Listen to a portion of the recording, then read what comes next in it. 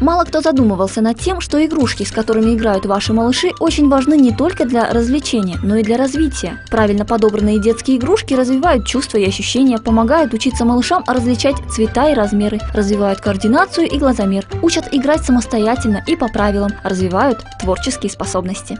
Для детей раннего возраста представлены игры именно на развитие сенсорики, мелкой моторики, там, развитие чувствительности. Для детей более старшего возраста представлены игры на развитие вот именно усидчивости, э, логики, мышления, конструирования, какие-то сюжетные игры.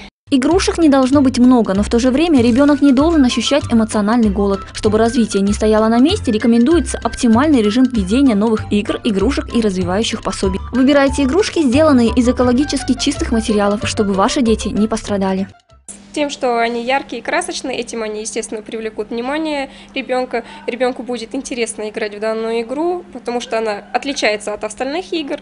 Ну, опять же, повторюсь, то, что вот они деревянные, экологически чистые, без запаха. Для того, чтобы ребенку не надоела данная игра, нужно на какое-то время как бы отнять у него эту игру и через пару дней опять ему дать. Она ему будет казаться новой и, опять же, интересной.